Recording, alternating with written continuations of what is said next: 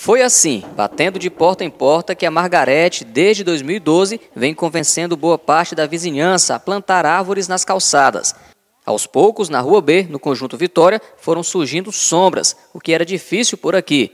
Hoje, mesmo com as temperaturas elevadas, os vizinhos de Margarete e moradores de outras ruas que aderiram ao projeto Plantando Vidas sempre encontram um cantinho para fugir do sol. Em 2012 começou a plantar nos vizinhos, né?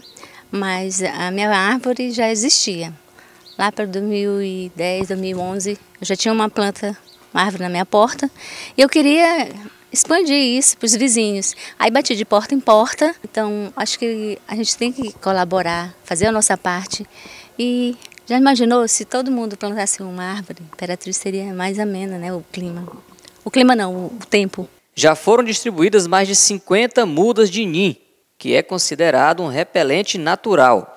Este pastor já plantou até na porta da igreja, que fica em outra rua. É um incentivador do projeto da Margarete. O projeto de arborização é muito importante, especialmente nos dias que nós vivemos, onde a alteração climática é notável, a gente precisa o mais urgente possível fazer toda a arborização, não somente dessa rua, mas de todas as nossas aqui, para que amenize o clima, entendeu? e melhore as condições de vida. Então, para nós é fundamental a manutenção, a preservação e a implementação desse projeto. Algumas foram plantadas há pouco tempo. Em breve, ela espera realizar um sonho. O meu sonho é que essa rua, feche essa rua aqui inteira, toda arborizada, e que no mês de dezembro a gente possa enfeitar, cada morador enfeitar e ter tipo um concurso da árvore mais enfeitada para ganhar um prêmio, para tipo assim, unir mais né, os moradores, a comunidade. Eu acho interessante. Se Deus quiser, vai dar certo. E não é só ela que pensou em arborizar o conjunto Vitória, não. Enquanto a Margarete aguarda a realização do sonho, o seu Oswaldo, esse aposentado de 85 anos, realiza hoje um sonho que começou em 1995, quando ele chegou à cidade.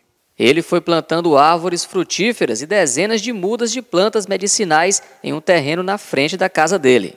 Fiz, a minha parte eu fiz. Eu fiz. Fiz e não tem arrependimento.